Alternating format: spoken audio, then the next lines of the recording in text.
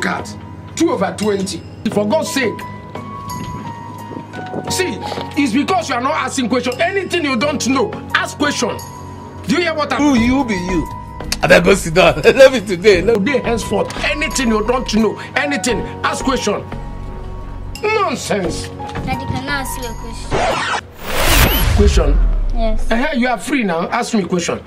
The one question is why is it that after the government banned the importation of foreign rice and invested much money in the production of local rice, instead of the price to reduce, it increases?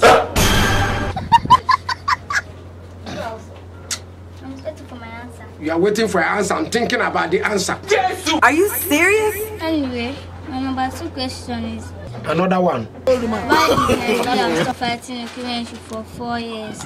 Or is it that our military don't Oh my God. independent or that they don't have enough food? You get my do. Our government are just turning blind eyes even after promising to eradicate it.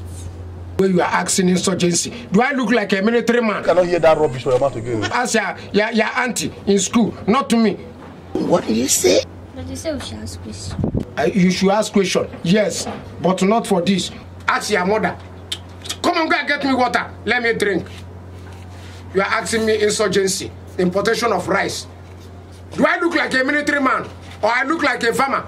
Go and ask government who, who, who those people that are giving the money, what they are doing with the, the rice.